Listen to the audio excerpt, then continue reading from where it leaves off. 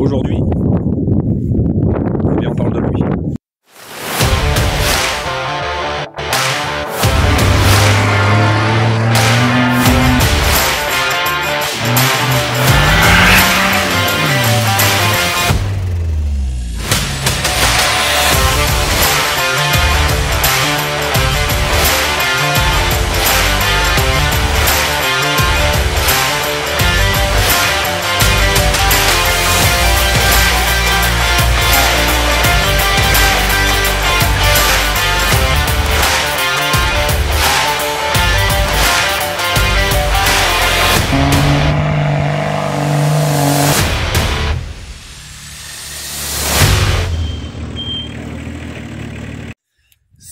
Salut les petits poulets, j'espère que vous allez bien. Aujourd'hui, petite vidéo toute simple, à la cool, entre nous.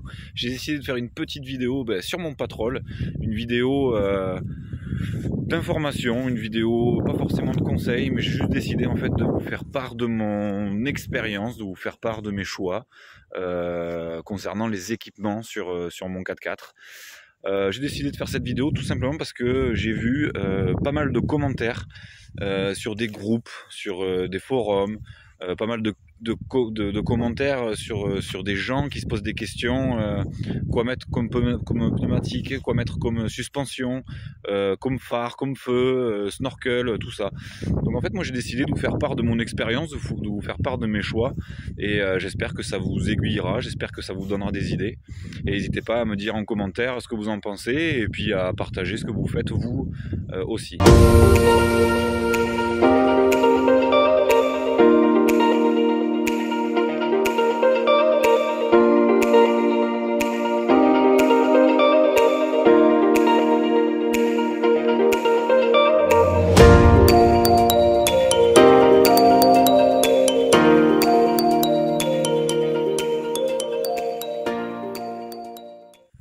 Petite euh, présentation de mon bébé avant toute chose. Euh, je tiens à m'excuser parce que là c'est un peu, c'est du, mauvais temps, il pleut, euh, il y a du vent, donc ça risque de temps en temps d'être désagréable au niveau du micro et je m'en excuse. Alors je vous présente ma nouvelle acquisition, c'est un Nissan Patrol GR Y60 2 litres 8 turbo de 92 euh, que j'ai acheté à la base full d'origine et que j'ai euh, full équipé à ma façon. Et euh, et donc voilà. Donc ben, on va déjà commencer par le début. On va commencer par le moteur.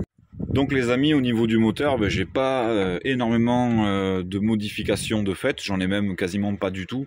Hormis vous dire que c'est un moteur qui a 307 000 km qui est d'origine. J'ai jamais eu de problème de culasse ou enfin de quoi que ce soit euh, au niveau des modifications, bon, comme vous avez pu le voir, j'ai un snorkel, donc euh, la modification primordiale, ça a été eh ben, un, filtre à air euh, étanche, une boîte à air étanche, pardon, avec un filtre à air intégré, et tout le kit de tuyaux qui était vendu avec. Donc ça, c'est pareil. C'est un petit conseil que je donne à, tous ceux qui mettent des snorkels. Quand vous mettez un snorkel, votre boîte à air, du moins sur les patrols, après il y a des modèles qui sont faits autrement, mais du moins sur un patrol, la boîte à air n'est pas étanche. Donc ça sert à rien d'aller mettre un snorkel qui va aller respirer tout en haut, entre guillemets, qui va être étanche jusqu'à là, si c'est pour avoir une boîte à air qui n'est pas étanche ici. Donc euh, la boîte à air d'origine, vous pouvez oublier. Euh, ils vendent ce type de boîte à air qui sont donc quand même de bonne qualité, euh, imitation carbone en plus, donc c'est assez joli. Et, euh, qui, ben en fait, là, théoriquement, je l'ai pas fait, je le ferai jamais parce que ben ça me pète très bien les couilles, mais théoriquement, je peux mettre le moteur sous l'eau. S'il n'y a pas de, fuite ou quoi que ce soit, il est censé ne pas respirer de l'eau. Voilà. Ensuite, euh, petite modification aussi apportée euh, au niveau euh, au niveau du moteur, au niveau de la pompe. Donc la membrane, elle a été légèrement tournée. La petite bague en plastique, elle a été virée. Il y a trois quarts de tour à la pompe. Voilà. Ici, la valve au turbo, c'est pareil, elle a été compressée. Euh, je crois que j'arrive à 900 grammes, 1 kg, quelque chose comme ça, ce qui fait que bah, ça a légèrement boosté le moteur et, euh, c'est plus à l'aise à la conduite. Enfin voilà, ça fait un 4x4 qui tire un peu plus, qui consomme aussi un peu plus, c'est vrai, mais euh, ça reste raisonnable. On était monté à un tour, je crois, au niveau de la richesse, et on est redescendu à trois quarts parce que ça fumait trop et puis ça servait à rien quoi. Donc euh, voilà les seules petites modifications qui ont été apportées au niveau du moteur. Ensuite, pour les connaisseurs, comme vous pouvez le constater, j'ai entièrement relooké euh, la face avant. Donc euh, le pare-choc d'origine a été viré, la calandre a été virée, euh, les feux, enfin les phares, les clignotants, il n'y a plus rien d'origine. Donc en fait, bah, c'est pas compliqué. La calandre, c'est du Amazon, les phares, c'est du Amazon, les clignotants, c'est du Amazon, les LED, les mini-rampes, c'est du Amazon, et les encastrables, c'est du chinois aussi. Voilà, tout simplement. Donc euh, le pare-choc, euh, voilà, pareil, le pare-choc, c'est ben, moi qui l'ai fait, je me suis fait tout seul. Donc j'ai touché un peu la soudure, ben, je me suis amusé, j'ai fait un design, euh, ben, j'ai trouvé des croquis sur internet et je les ai tout simplement refaits et, je, trouve que ça donne vraiment une bonne gueule. Ensuite les feux, ben, les feux, tiens d'ailleurs, on va regarder, mais ils sont, enfin je vais vous montrer, ils sont, voilà, tac, il y a les clignotants intégrés dedans. Voilà, voilà ce que ça donne. Ça c'est joli ça. Voilà, donc ça là, le, cercle blanc que vous voyez, c'est juste, euh, les veilleuses. Hein. Voilà, là je suis juste en veilleuse, je suis pas en cône ni en phare. Alors ensuite, autre modification, ben, tant que j'ai laissé les, les veilleuses allumées, ben, on peut voir que j'ai installé des feux de toit à l'américaine. Je les ai placés à l'américaine en plus. En général, c'est trois au milieu et puis un de chaque côté euh, sur les bords du véhicule. Donc à la base, c'est des feux de gabarit, mais ils s'en servent aussi en déco. J'ai trouvé ça sympathique et bah, pareil, commande Amazon. et euh, ceux-là, par contre, je suis pas déçu. Ça fait, euh, euh, quasiment un an que je les ai et franchement, gros coup de karcher dans la gueule et tout. Ils ont pas pris l'eau, ils fonctionnent bien.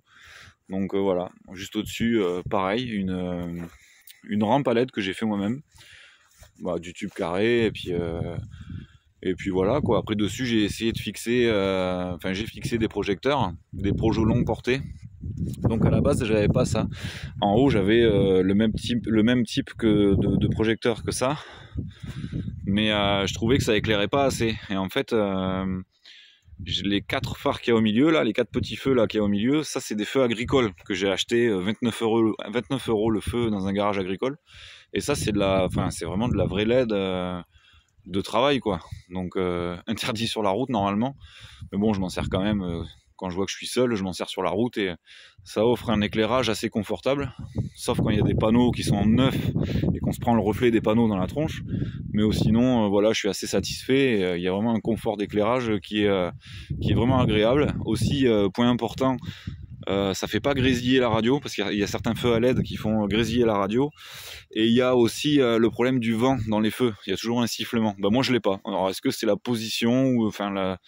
Il y en a qui ont, ce problème-là, surtout avec les rampes à LED, mais avec des petits feux comme ça, il n'y a pas ce problème de sifflement. Voilà, voilà. Alors le snorkel commande Amazon, pareil, c'est pas compliqué. Les trois quarts des trucs qu'il y a dessus, ça vient d'Amazon. Hein avec une chure de pigeon dessus. Bon, c'était pas livré avec, mais bon. Alors, euh, bah, le snorkel, rien à dire, quoi. Hein. Euh, euh, bonne qualité, c'est du plastique épais, bonne finition. on peut voir les moulures, ça épouse quand même vachement bien la tôlerie, quoi. Donc, donc voilà, quoi, assez simple à mettre. et puis c'est surtout vraiment conseillé, je dirais. Alors c'est pas forcément que pour un but euh, d'étanchéité en fait. Hein. C'est euh, moi si je l'ai mis, c'est bon et d'une pour l'étanchéité parce que j'aime bien aller dans les flaques un peu profondes entre guillemets, mais aussi c'est pour euh, étant donné que je m'en sers tous les jours et que je suis je suis quelqu'un qui roule assez vite et qui tire énormément dans la mécanique, c'est aussi pour que le 4x4 respire en permanence de l'air frais. Voilà, tout simplement. C'est c'est un moyen de d'optimiser le fonctionnement de son moteur quoi. Voilà voilà. Alors pour, euh, les pneumatiques, j'ai choisi du Cooper euh, STT Pro. J'ai pris du, 315-75 euh, par 16. bon, après, il y en a qui disent que, c'est plutôt gros. étant donné que je suis en moteur d'origine et c'est que un 2 litres 8, on m'a conseillé de ne pas les mettre. Bah, je les ai mis quand même, j'y suis allé comme un faillot, j'ai dit allez on va essayer, si ça ne va pas je vais les revendre. Bah, en fait il se les trinque plutôt bien. Voilà. Euh, bon, le moteur, il a été un petit peu gonflé, je suis d'accord, mais, euh, mais il se les trinque plutôt bien.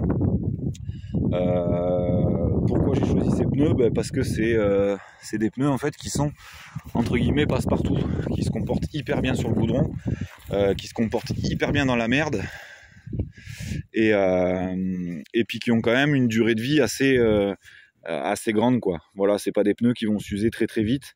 Et, voilà, et franchement, ouais, niveau bruit sur la route, ils sont vraiment agréables. niveau confort aussi, puis voilà, puis pour avoir fait quand même pas mal de, pas mal de tout terrain, bah, je les ai trouvés, je les ai trouvés vraiment corrects, voilà. Autant niveau prix euh, que utilisation, je les ai vraiment trouvés corrects.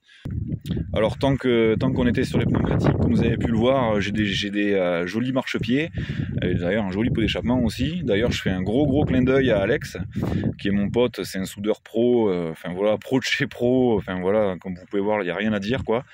Euh, qui m'a fait ça. Euh, on l'a fait ensemble. Enfin bon, c'était un régal, euh, comme à chaque fois que je bricole avec lui d'ailleurs.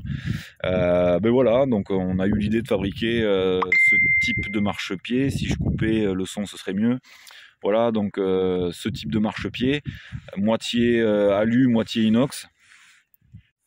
Donc de l'alu strié au-dessus et après le tube c'est que l'inox. Donc je sais plus ce que c'est comme diamètre, je crois que c'est du 60. Donc euh, voilà, c'est tout con quoi. Il y a deux, deux, coudes, un là, un là-bas, et après des bouchons. Je sais pas si on va le voir. Voilà, il y a des bouchons là qui ferment les, euh, les tubes. Et, et, voilà, des, vraiment des jolies soudures bien discrètes. Et puis, et puis voilà, moi j'ai choisi de le coller vraiment, de le coller contre la caisse. Voilà. Après, on pourrait toujours dire qu'ils font qui sont vraiment discrets. Enfin, ça c'est pas des vrais vrais marchepieds parce qu'on n'arrive pas à poser le pied entier dessus. Mais voilà, moi j'ai choisi de les mettre là parce que ben, euh, je fais quand même du TT avec et j'avais pas envie d'avoir des marchepieds euh, qui viennent s'accrocher euh, sur une souche ou à chaque fois qu'on fait un, passage un peu compliqué. Si c'est pour avoir des marchepieds qui s'accrochent et qu'on arrache et qu'on tord et qu'on abîme, bah voilà, moi j'ai décidé de les remonter au maximum. Et franchement, bah, le look il est pour moi super et et puis on arrive quand même à s'en servir de marchepied.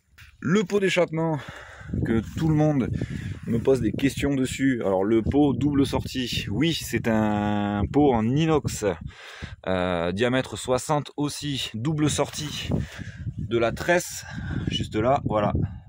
Donc ça c'est pareil, ça a été fait par mon pote de la tresse. Là on a contourné le châssis, tube, tube, coude, et sortie euh, direct. Voilà, donc aucun silencieux, rien du tout. Il est en full, euh, enfin pas full inox parce qu'il y a le collecteur, euh, pardon, le collecteur qui est toujours d'origine, mais aucun silencieux, c'est sorti, sorti cul de poule, et ben, le bruit il est juste sublime en fait pour moi, pour un 2 litres 8, il chante bien, pas autant qu'un 3 litres 3, mais il chante bien quand même, et puis voilà, c'est pas désagréable non plus. Alors là les amis, on arrive euh, au nerf de la guerre. C'est le débat le plus euh, qu'on retrouve le plus sur les groupes de 4x4, c'est le Kitreos. Montrez-moi des photos de Kitreos, qu'est-ce que vous avez mis comme Kitreos, euh, quel prix, patati, patata. Bon, le prix, je vais pas vous le communiquer. par contre, bah, je vais vous parler de celui-ci. C'est donc le Kitreos plus 10 Ironman Pro fournisseur m'a trouvé. Euh, donc c'est, il est rehaussé en plus 10, mais en réalité il est en plus 13 parce que j'ai commandé les cales, petite cale bleue qu'il y a, des cales de 3, donc du coup ça me fait un kit rehausse en plus 13. Donc ce kit rehausse, euh, comment on le trouve? Donc, ben, suspension avant, suspension arrière, bien sûr. Il y a euh, la barre panhard qui est vendue avec le kit ici, d'accord? Ça, c'est la barre panhard là. Il y a flexible de frein rallongé étant donné que c'est quand même, entre guillemets, une assez grosse réhausse, même s'il y en a qui vont me dire, ouais, j'ai un plus 17, ouais, j'ai un plus 20, bon, à partir de 10 cm, il faut quand même changer euh, le flexible de frein, juste là. Il y a euh, les biellettes de barre stabilisatrice, qu'on va les trouver ici, là, voilà. Les biellettes, là, qui sont vendues avec aussi. Qu'est-ce qu'on trouve d'autre? Qu'ils en vendent des trucs. Le kit, il est quand même relativement complet. On trouve la barre rigide, juste là, avec l'autocollant Ironman la barre rigide qui est vendue avec, le flexible de frein arrière également vendu avec, et c'est pas fini. C'est pas fini. On trouve aussi, ce qui n'est pas vendu avec tous les kits, les petites cales ici là. Alors, ce serait bien qu'il fasse son focus. Voilà, voilà.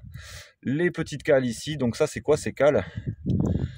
Ces cales, elles servent tout simplement en fait à descendre la boîte. Là, cette pièce ici, là, cette grosse pièce, excusez-moi pour la merde, hein, parce que j'ai pas passé le karcher dessous, il pleut en ce moment.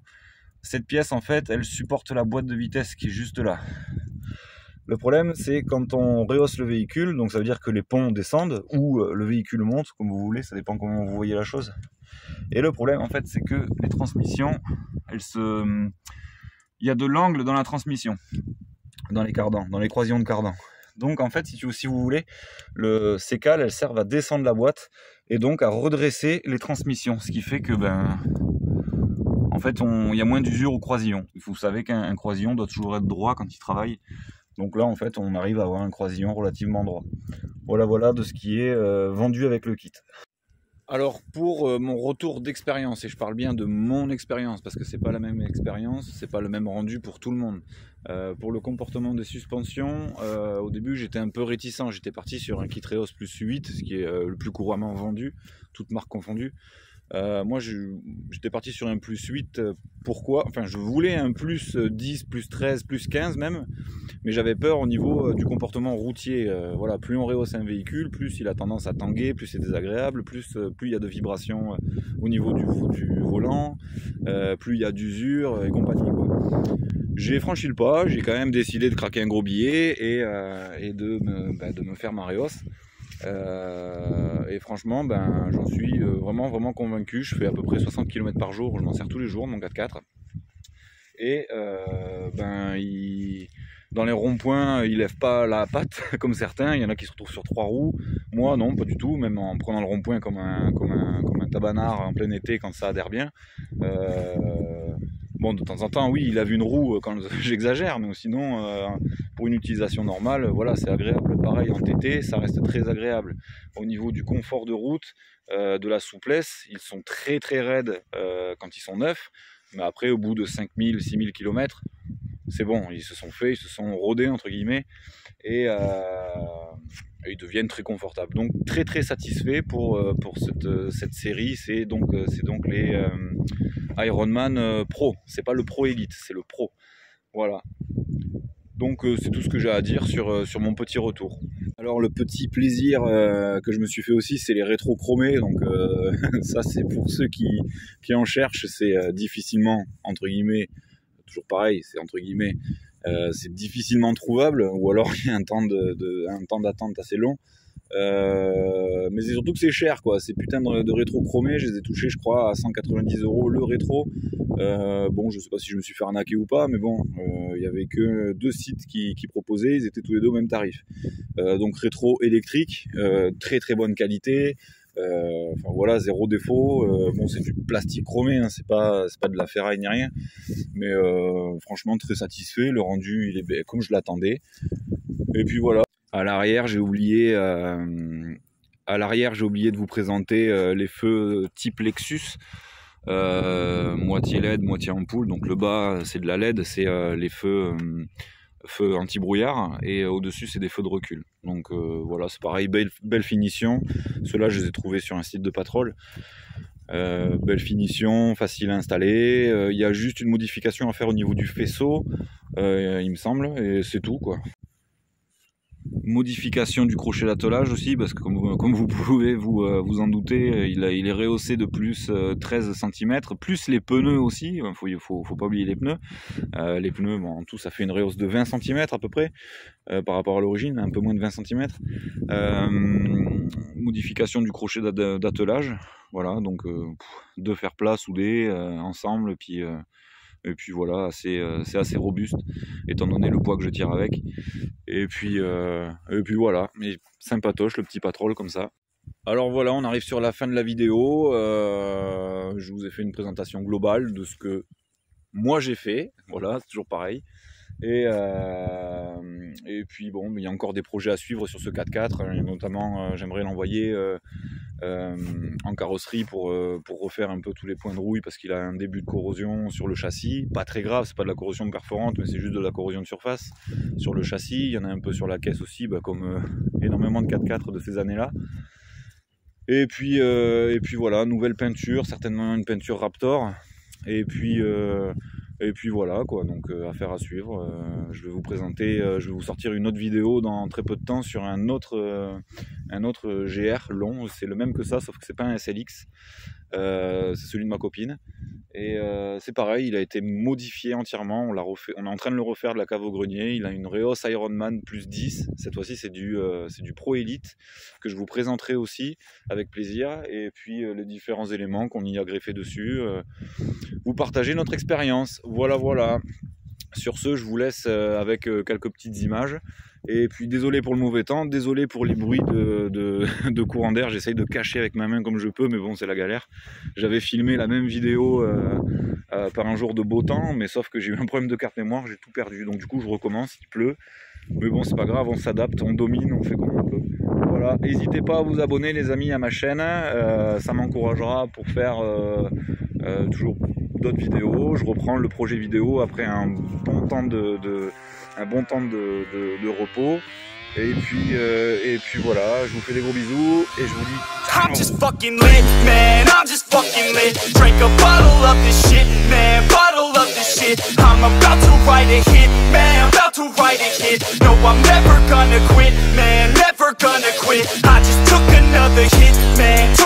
another hit I'm about to lose my shit, man, about to lose my shit Does she have a fucking wristband? Yeah, she needs that shit Better get her out real quick, man, get her out real quick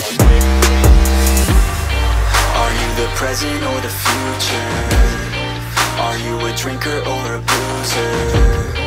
Are you a giver or a user? Are you a winner or a loser? And I said that I would never back down